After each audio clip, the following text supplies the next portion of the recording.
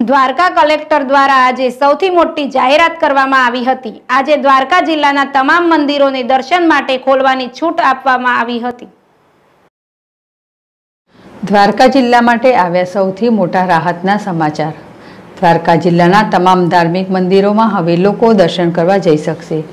દ્વારકાધીશ તેમજ હરસિદ્ધિ તેમજ જિલ્લાના તમામ મંદિરો આઠ જૂનથી દર્શન માટે ખોલવામાં આવશે તેવી જાહેરાત કલેક્ટર દ્વારા કરવામાં આવી છે. દ્વારકાવાસીઓ માટે રાહતના સમાચાર મળતા પૂજારીઓ તેમજ વેપારીઓમાં હર્ષની લાગણી જન્મી છે. બે માસથી વધુ લોકડાઉનના પગલે મંદિરો બંધ હોય, યાત્રિકો પર નિર્ભર રહેતું દ્વારકા તમામ વેપાર ઉદ્યોગ ઠપ થતાં, જે આઠ જૂનથી પૂર્વવત થશે. આ સાથે દર્શન માટે ચુસ્ત નિયમોનું પાલન કરવામાં આવે તેવી સૂચનાના આધારે મંદિરના દ્વાર ખોલવામાં આવશે. જેમાં આરતી દરમિયાન કોઈ લોકોને મંદિરમાં જવા દેવામાં નહીં આવે.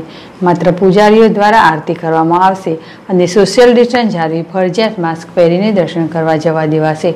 મંદિરમાં પણ થર્મલ સ્કિનિંગ સેનિટાઇઝ બાદ પ્રવેશ અપાશે અને પૂજારીઓને પણ ફરજિયાત માસ્ક પહેરવાની સૂચના આપવામાં આવી છે. હાલ તો સમગ્ર દ્વારકા મંદિર ખુલવાના સમાચાર મળતા હર્ષની લાગણી જન્મી છે. મુકેશ મોકરિયા જેડેશ ટીવી દ્વારકા.